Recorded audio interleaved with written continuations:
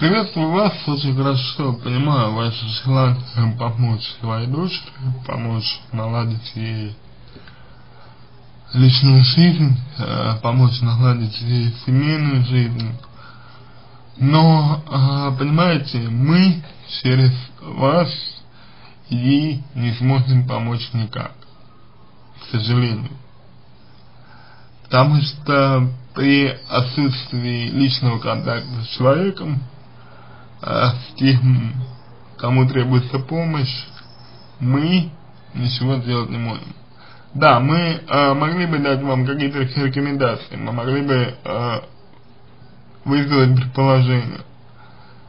И вы знаете, наверное, наверное, одно предположение я все-таки выскажу. Вот вы говорите, что у мужа э, вашей дочери, возможно, появилась любовница.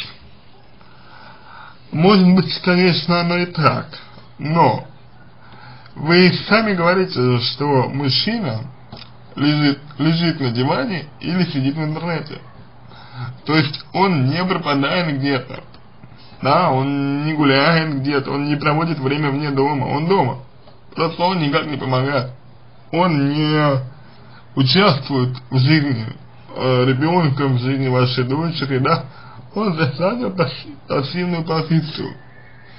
Поэтому не думаю, что у него есть именно любовница. Тут скорее проблема кроется глубже в отношениях между дочерью и ее мужем. И какие это отношения могут знать только они. Потому что они находятся в этой ситуации, они знают эту ситуацию, они видят ее изнутри, соответственно, с ними нужно разговаривать. А вы в своих суждениях опираетесь на то, что видно вам. И, и хотя а, внешне и вы, и дочь, например, в контексте мужа, наблюдаете одно и то же, но э, чувственное восприятие этого у вас совершенно разное.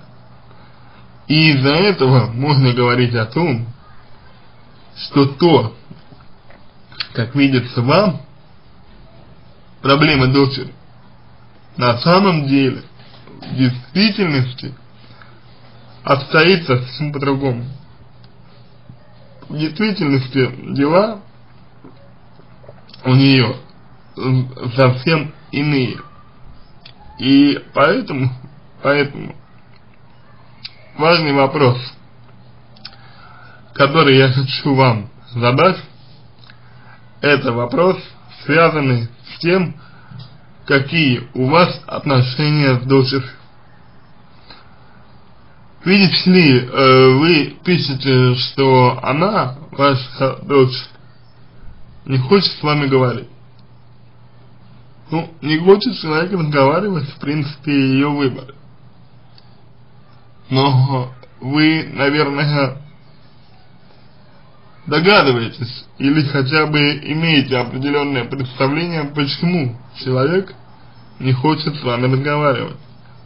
Ну, что мешает ему, э, например, поделиться с вами, да, чем-то, что мешает ей как-то довериться вам. Есть какие-то блоки. Есть какие-то блоки, которые стоят на пути вашего нормального и естественного контакта. И вот на это, в первую очередь, я вам рекомендую обратить внимание, что есть проблемы в общении с вашей дочерью. Что ваша дочь вам до конца не доверяет, иначе бы она рассказывала вам все. И вам нужно, вот лично вам, вот вы спрашиваете, да, как быть. Вот лично вам нужно а, расположить свою дочь к себе, чтобы имеющиеся барьеры в ваших э, контактах ушли, исчезли. И вот тогда у вас будет шанс донести до нее ту мысль, что она молодая здоровая женщина, у которой есть возможность строить свою жизнь так, как она хочет строить, и которая, ко всему прочему, ответственна за то, что происходит с ней и с ее ребенком. И для нее вот жизнь в таких условиях, как мы примерно описали, суть прямой вред ребенку. Если ее ребенок, по мнению дочери, достоин счастья, достоин здоровья, достоин полноценной нормальной жизни в будущем, то она в срочном порядке предпримет все усилия для того, чтобы ситуацию изменить. Либо действительно уехал уехать к вам, где будет пусть и некомфортно физически, но зато комфортнее духовно, комфортнее эмоционально, что для ребенка является едва ли не самым главным.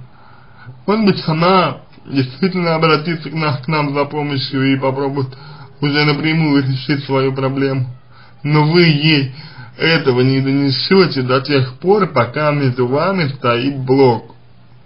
И блок этот, скорее всего, установлен потому, что ваша дочь ожидает от вас какой-либо реакции. Покажите ей, что вы не будете на нее давить, не будете ее учить, не будете ее получать. Покажите ей, что вы желаете только добра, покажите ей, что вы хотите просто поддерживать ее, просто высказывать ей какую-то какие-то мысли, может быть, да, какое-то мнение без каких-либо там нравоучений и так далее. Подумайте, почему ваша дочь от вас закрывается, от вас, от самого близкого человека вроде как.